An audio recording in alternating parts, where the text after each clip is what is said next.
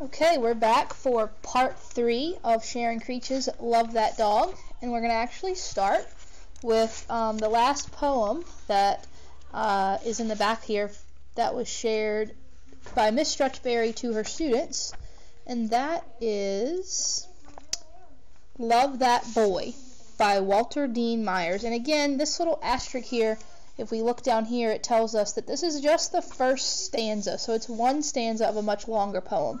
Uh, feel free to Google Love That Boy by Walter Dean Myers, and you'll probably find the rest of it. Um, so, Love That Boy by Walter Dean Myers. Love that boy like a rabbit loves to run. I said I love that boy like a rabbit loves to run. Love to call him in the morning, love to call him, hey there, son. Uh, and we do have a nice simile here. We mentioned a simile earlier in one of the other parts of our book, but he's comparing the boy, uh, how much he loves the boy, to how much a rabbit loves to run, and he's using the word like. So um, that comparison using like is called a simile. So nice job, Walter Dean Myers. Um, so now we'll continue with part three, uh, which picks up on March 14. That was the best, best, best poem you read yesterday by Walter, Mr. Walter Dean Myers, and the best, best, best poem ever. I am sorry I took the book home without asking. I only got one spot on it. That's why the page is torn. I tried to get the spot out. I copied that best poem and hung it on my wall, on my bedroom wall, right over my bed where I can see it when I'm lying down. Maybe you could copy it too and hang it on the wall in our class where we can see it when we are sitting at our desks doing our stuff.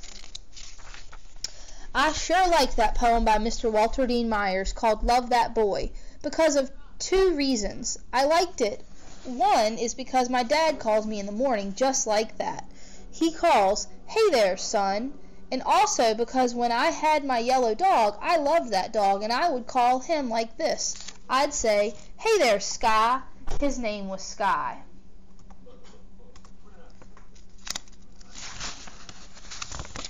March 22nd. My yellow dog followed me everywhere. Every which way I turned, he was there, wagging his tail and slobber coming out of his mouth when he was smiling at me. All the time, as if he was saying, Thank you, thank you, thank you for choosing me, and jumping up on me, his shaggy, straggly paws on my chest, like he was trying to hug the insides right out of me. And when us kids were playing outside kicking the ball, he'd chase after it and push it with his nose. Push, push, push. And getting slobber all over the ball, but no one cared because he was such a funny dog, that dog Sky. That straggly, furry, smiling dog Sky. And I'd call him every morning, every evening. Hey there, Sky. March 27. Yes, you can type up what I wrote about my dog Sky, but don't type up that other secret one I wrote. The one all folded up in the envelope with tape on it, that one uses too many of Mr. Walter Dean Myers' words, and maybe Mr. Walter Dean Myers would get mad about that. April 4. I was very glad to hear that Mr. Walter Dean Myers is not the sort of person who would get mad at a boy for using some of his words. And thank you for typing up my secret poem, the one that uses so many of Mr. Walter Dean Myers' words, and I like what you put at the top, inspired by Walter Dean Myers. That sounds good to my ears.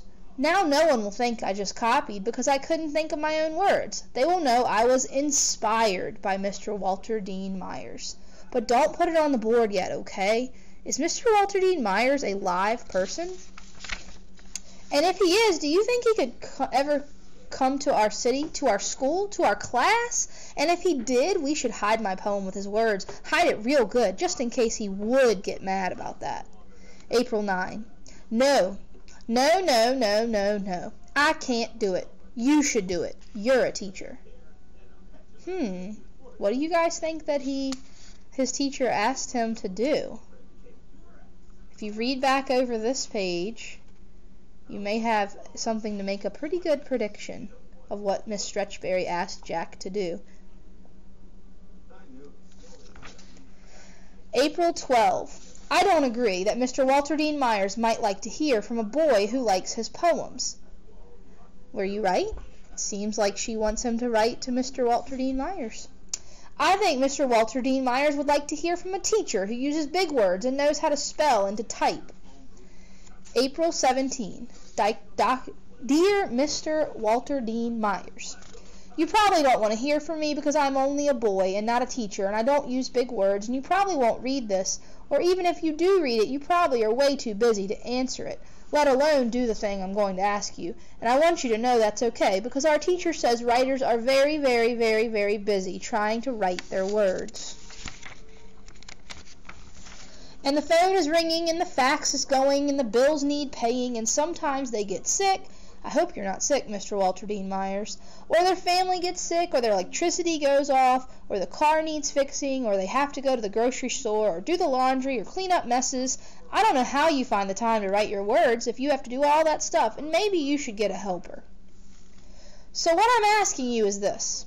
If you ever get time to leave your house, and if you ever feel like visiting a school where there might be some kids who like your poems, would you ever maybe think about maybe coming maybe to our school, which is a clean place and with mostly nice people in it, and I think our teacher, Miss Stretchberry, would maybe even make brownies for you because she sometimes makes them for us. Hope I haven't too much stopped you from doing your writing of words and fixing your car and getting groceries and all that stuff just to read this letter, which is probably taking you maybe 15 minutes. And in that time, you could have maybe written a whole new poem, or at least the start of one. And I and so I am sorry for taking up your time. And I understand if you can't come to our clean school and read some of your poems to us and let us see your face, which I bet is a friendly face. My name is Jack. Bye, Mr. Walter Dean Myers. And we're going to stop there. So Jack has written a letter to Mr. Walter Dean Myers and asked him to come to their school. Um, so, what do you think? Do you think he'll answer the letter? Do you think he'll come to the school?